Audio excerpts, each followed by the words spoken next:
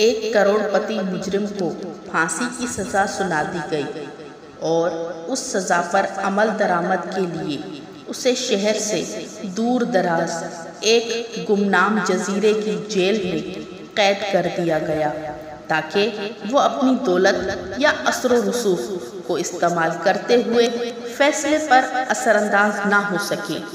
करोड़पति मुजरिम ने इस जजीरे पर ही किस्मत आजमाई का फैसला कर लिया। उसके लिए उसने जेल के संतरी को रिश्वत देने का फैसला किया, ताकि किसी भी तरीके से और किसी भी कीमत पर जेल के जजीरे से बाहर वो फरार हो सके। संतरी ने उसे बताया कि यहाँ पर हिफाजती इकदाम बहुत सख्त हैं और कोई भी कैदी जजीरे से बाहर नहीं निकल सकता, सवाए एक सूरत की, जो कि मौत है। लेकिन लाखों के लालच ने संतरी को कैदी का साथ देने पर आमादा कर लिया। उसके लिए संतरी ने एक अजीब व गरीब तरीका निकाला और उस करोड़पति मुजरिम को बता दिया, जो दर्जे जेल है। सुनो, जेल के जजीरे से सिर्फ़ एक चीज़, जो बग़ैर किसी हिफाजती इंतज़ाम और तफ्तीश के बाहर जाती है, वो है मुर्दों का ताबूत। जब कभी किसी को फांसी दे दी जाए या वो तबई मौत मर जाए तो उनकी लाशों को मुर्दा खाने से ताबूत में डालकर बहरी जहाज़ पर मुंतकिल कर दिया जाता है। जहाँ पर गैर मुसल्ह चंद मुहाफ़ों की निगरानी में कुछ सादा रसूमात अदा करने के बाद उन ताबूतों को कब्रिस्तान में दफन करने के लिए भेज दिया जाता है। वो मुहाफ़ उन ताबूतों को बहरी जहाज़ से खुशकी पर मुंतकिल करने और फिर दफनाने के बाद वापस लौट आते हैं। इस कार्रवाई पर रोज़ाना सुबह दस बजे उस सूरत में अमल दरामद किया जाता है कि वहाँ मुर्दा खाने में मुर्दा और ताबूत मौजूद हों आपके फरार होने का वाहिद हल ये है कि अख्तामी लम्हात से पहले आप किसी तरह एक ताबूत में पहले से मुर्दा शख्स के साथ लेट जाएँ। मामूल की कार्रवाई अख्ताम पजीर हो बहरी जहाज़ से आप ज़मीन और ज़मीन से कब्रिस्तान पहुँच जाएँ। वहाँ जाकर ताबूत को दफन कर दिया जाए और जैसे ही अमला वहाँ से वापसी के लिए निकले तो मैं हंगामी रुखसत लेकर आधे घंटे के अंदर अंदर वहाँ पहुंचकर आपको कब्र और ताबूत से बाहर निकाल लूँ फिर आप मुझे वो रकम दे दे जिस पर हमने इत्तफाक किया है। और मैं छुट्टी का वक्त ख़त्म होने से पहले वापस चला जाऊँगा और आप गायब हो जाएँगे। यूँ आपकी गुमशुदगी एक मौमा ही रहेगी और इस मौमे से हम दोनों को कोई फ़र्क नहीं पड़ता। आपका क्या ख्याल है? करोड़पति ने सोचा, ये एक जनूनी किस्म का मंसूबा है। लेकिन फांसी के फंदे पर झूलने से ये फिर भी हज़ार दर्जे बेहतर है। करोड़पति ने तगड़ी रकम देने का वादा किया और फिर दोनों ने उसी तरीके कार पर इत्तफाक कर लिया। संतरी के मंसूबे के मुताबिक उस कैदी ने इत्तफाक किया कि वो मुर्दा खाने में छुपके से जाएगा। अगर वो खुशकिस्मत रहा और वहाँ किसी की मौत वाक़ हो गई हो तो वो अपने आप को बाएँ तरफ़ के पहले नंबर वाले ताबूत में बंद कर लेगा, जिसके अंदर पहले से एक लाश मौजूद होगी।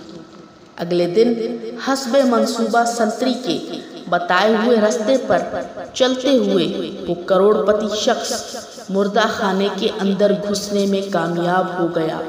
वहाँ मुर्दा खाने के फर्श पर दो ताबूत रखे हुए थे। पहले तो वो ताबूत में किसी मुर्दे के साथ लेटने के ख्याल से घबरा गया, लेकिन एक बार फिर ज़िंदा रहने की जबलत उस आरसी खौफ पर गालिब आ गई। उसने अपनी आँखें बंद करते हुए एहतियात से ताबूत को खोला ताकि लाश को देखकर खौफसदा ना हो और अपने आप को तेज़ी से ताबूत के अंदर मुर्दे के ऊपर गिरा दिया। और उस वक्त तक बेचैनी और पकड़े जाने के खौफ के साथ वो इंतज़ार करता रहा, जब तक के उसने मुहाफिजों की आवाज़ ना सुन ली। वो ताबूत को जहाज़ के अरशे पर ले जाने के लिए आपस में गुफ्तगू कर रहे थे। मुर्दा खाने से लेकर जहाज़ पर पहुँचने तक उसे कदम ब कदम जगह की तब्दीली का एहसास होता रहा। जहाज़ का लिंगर उठने से लेकर पानी पर उसकी हरकत को उसने महसूस किया। समंदरी पानी की महक जब तक उसके नथनों से टकराती रही, तब तक उसका अदम तहफ़ का एहसास बरकरार रहा। जहाज़ साहिल पर पहुंचकर लिंगर अंदाज हुआ। मुहाफिजों ने खींचकर ताबूत को खुशकी पर उतारा तो उसके कानों में मुहाफिजों की गुफ्तगु के चंद अल्फाज टकराए। वो इस ताबूत के अजीब व गरीब वज़न के बारे में एक दूसरे से तबसरा कर रहे थे। वो कह रहे थे कि इतने वजनी ताबूत से ज़िंदगी में पहली दफ़ा पाला पड़ा है। इस गुफ्तगु से उस करोड़पति कैदी ने अजीब सा खौफ और तनाव महसूस किया। वो डर गया था कि कहीं ये मुहाफिज उस ताबूत को खोल कर देख ही ना ले कि अंदर क्या है। लेकिन ये तनाव उस वक्त ख़त्म हो गया, जब उसने एक मुहाफिज को लतीफ़ा सुनाते हुए सुना, जिसमें वो ज़्यादा वज़न वाले कैदियों का मज़ाक उड़ा रहा था। मुर्दा खाने से लेकर कब्रिस्तान पहुँचने तक शायद ये पहला लम्हा था जब उसने थोड़ी सी राहत महसूस की। अब उसे महसूस हो रहा था कि ताबूत को गढ़े में उतारा जा रहा है। चंद लम्हों बाद उसे ताबूत के ऊपरी हिस्से पर मिट्टी के बिखरने की आवाज़ सुनाई दे रही थी और मुहाफिजों के बोलने की आवाज़ आहिस्ता आहिस्ता कम होते हुए ख़त्म हो गई। और अब इस अंधेरी कब्र में वो एक अजीब सूरत हाल से दो चार था। इंसानी लाश के साथ तीन मीटर की गहराई में वो ज़िंदा दफन था। वो हर गुजरते लम्हे के साथ उसके लिए सांस लेना दोभर होता जा रहा था। उसने सोचा, ये बात दुरुस्त है कि वो उस संतरी पर भरोसा नहीं करता था। लेकिन वो ये भी जानता है कि दौलत से मोहब्बत सबसे बड़ी ताकत होती है और वो संतरी वादे के मुताबिक लाखों की रकम लेने के लिए दौलत से अपनी मोहब्बत की बदौलत ज़रूर आएगा। इंतज़ार तवील होता रहा। जिसम पर पसीना बहने का एहसास यूँ हो रहा था जैसे हज़ारों चूटियाँ धीरे धीरे रेंग रही हों। साँसें थोंकने की मानंद तेज तेज चलने लगी थी और हब से दम घुट रहा था। खुद को मुतमईन करते हुए वो कहने लगा बस मज़ीद दस मिनट की बात है। इसके बाद सब कुछ ठीक हो जाएगा और वो दोबारा आज़ाद फजाओं में सांस लेगा और एक बार फिर रोशनी देखेगा।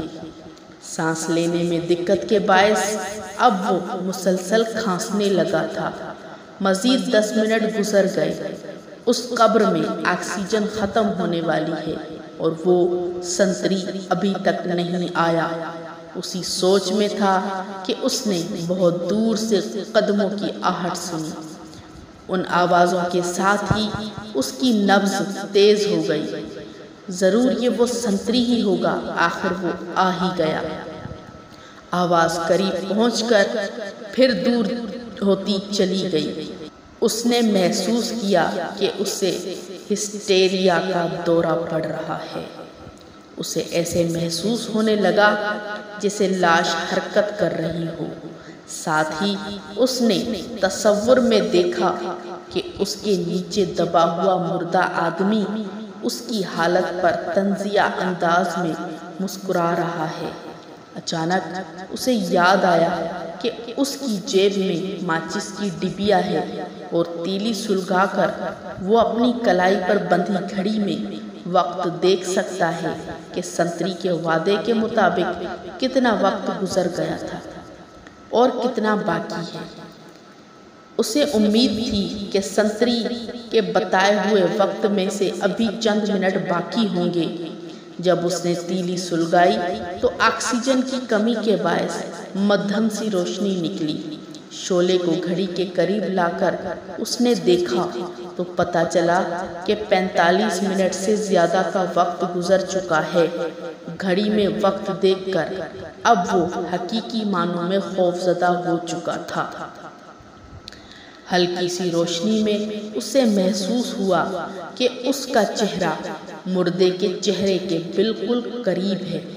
उसने खुद से सवाल किया, क्या मुर्दा शख्स का चेहरा देखना उसे मजीद खौफ में मुबतला करेगा। तजस्स और खौफ के साथ उसने अपनी गर्दन मोड़ी। शोले को लाश के चेहरे के करीब किया और दहशत के मारे उसकी रीढ़ की हड्डी में सर्द लहर दौड़ गई। मरने से पहले उसने देखा कि ये तो उस शख्स का चेहरा है जिसे ज़िंदा देखने की उम्मीद में वो यहाँ ज़िंदा दफन था। वो चेहरा, वो उसी संतरी की लाश थी। इस तरह की मज़ीद वीडियोस को देखने के लिए मेरे चैनल को सब्सक्राइब करें, लाइक करें और बेल आइकन को ज़रूर प्रेस करें।